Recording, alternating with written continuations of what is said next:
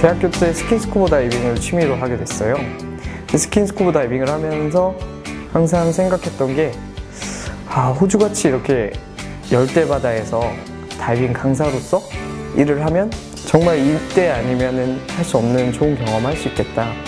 저는 이제 호주 가기 전부터 호주 케언즈에 있는 Deep Sea Divers Den이라는 회사에 가는 게 목표였어요.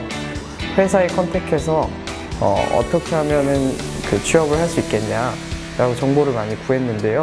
그것들 바탕으로 한국에서 스쿠버 다이빙 자격증도 취득을 하고 저는 거기서 기회를 잡고 스쿠버 다이빙 강사로서 Deep Sea Divers Den에서 근무하게 됐습니다.